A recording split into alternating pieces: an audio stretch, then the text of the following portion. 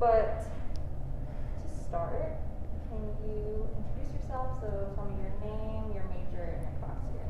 Yeah, so my name is Katie Sanfield. I am class of 2023 and I am a History and Educational Studies double major, Museum Studies minor. Favorite museum is probably the Natural History Museum. Um, I'm not a person who like knows a lot about natural history, but like since I was a kid, just before I even like started reading stuff in museums and just kind of looked at everything, there was so much to see and explore there that every time I go into DC, DC like that's the one I want to go to. You can see animals, you can talk about plants, the geology is always really cool, and it is a little more hands-on there too compared to other museums, which I like. Um, I'm not someone who likes all the touchy museums, but it, there's just so much there to see. Yeah, so I've actually been a volunteer with the Smithsonian for about two, two and a half years now in their educational department. Um, I originally did it as a requirement for History Honor Society in high school and fell in love with it entirely. So when I realized that they did have a museum studies program here that was a minor, I jumped on it right away because everything I do kind of ties into it also. So just another way to get into the museum education field. So I volunteer with the Discovery Station program, which is a informal education-based system where there's a bunch of stations that are on the museum that connect to objects but aren't directly the objects. There are a few that are. Um, so it's a way to get people asking questions about stuff in the museum, learning something new, and making those connections that they otherwise wouldn't get. And it's really good for kids who are just like learning seaplanes and are really interested, and parents who are always looking to learn something new. Um, favorite stations I work with are the Wright Brothers station, which we, we actually got rid of that this past year because we lost the flyer to the Army Museum. Um, and then I work with the Space Shuttle spacesuit a lot. Cool. Yeah. That's awesome. You're interested in working in history museums after college, you think? Yeah, I'm looking into history museums. I'm trying to get my in into the Air and Space Museum just because I know the department a little more. I've really liked what they do there. Um, otherwise, I'm not really sure. I'm still kind of exploring my options in that sense. And then if museum education doesn't work out, I want to teach history.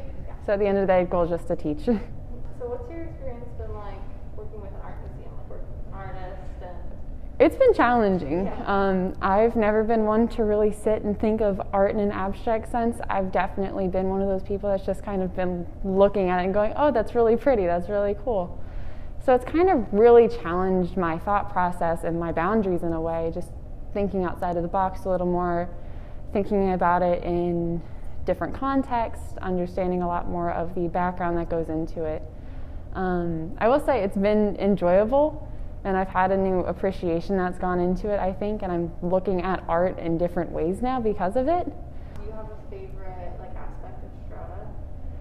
Mine's definitely got to be the tonal sound behind it. I'm a big music person. I've been playing since fifth grade, so later than most people, but I like I have had an appreciation for that for a while. So I do notice a lot of the different nuances. So hearing it for the first time, I just remember getting goosebumps and being like, Shannon did this. Um, so I know like that's been the biggest thing for me to play into is like we talk so much about the video, but the sound is such an important factor like every time I hear it, I just get excited. I do listen to it fairly consistently. The video Dr. Barkin sent us on all the time. It's like what you feel isn't the video; it's the sound that you hear, and you don't think about sound as much. You're always going to think about the video, but like if you watch a movie with no sound, it feels weird because Yeah. it's that like subconscious connection you're making, and like how your body reacts to all of it isn't what you see. It's like the tension you get from what you hear. Yeah, so actually being home during installation week, I did spend a lot more of my time trying to figure out programming when I wasn't really watching installation because there wasn't much I could do with it at home. Um, I did look into a lot of the tech, so it's just having people to work on different things at once, I think, helped because I don't know what we would have done if we didn't have you guys here working on installing the piece. Um, so it also gave me a like different appreciation for like just the different roles people might have, and not everyone has to be doing the same exact thing. And I had the realization when I came in because I painted after the week. Um, I did the feet on the walls, and like that realization that like if I was here, we'd all have spent less time in the installation than you guys did. So I was just like, you know what? I did some more at home. I did some more text. I just had a different side of things. So I don't think I lost any of the experience. I only really helped for the people who were here in a way. Um, I miss not installing. I was really excited to do that, but um, it's it's okay. Yeah. So Well, silver lining huge silver lining.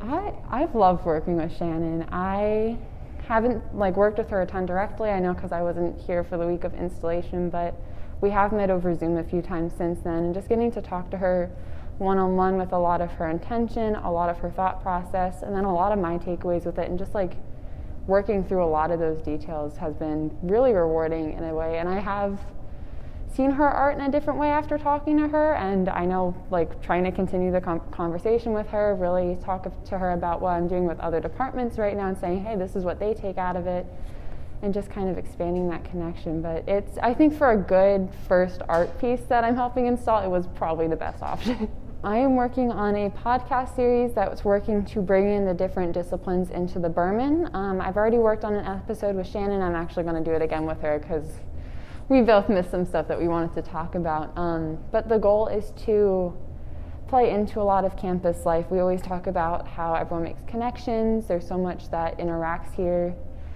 that I really want to play into that really, really well with what the Berman does. The Berman really does play into it, but they don't extend enough, I think, to these different branches. So I'm hoping that with Strata and the very prominent connections, talking to the environmental department about what the Athabasca oil sands are, and then tying it on to what Shannon did, talking to the digital art community and seeing what they can say, um, just to really bring out the interest that campus has and show them like this is more than just an art museum. Like I've seen it because I've worked here. Like I didn't have that thought before.